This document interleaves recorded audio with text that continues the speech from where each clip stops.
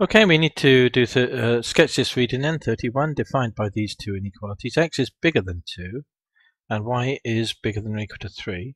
So the x values don't touch 2 because they're to the right of 2 and the y values they lie above but touch the value 3.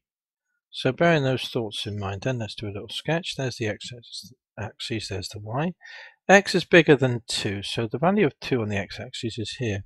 So if the x values are bigger than 2, they don't touch the value 2, so the first thing to do is to draw a dashed line to denote that they don't touch.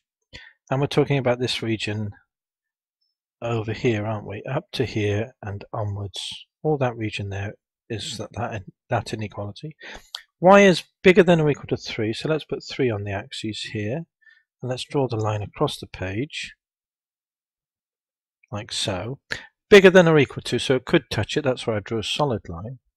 So for these both of these inequalities to be satisfied, and you see that they have to lie to the right of this line, and bigger than or equal to 3, they must lie above there. So to the right of here and above there would mean this region here. So let me just shade it then to denote that to the reader.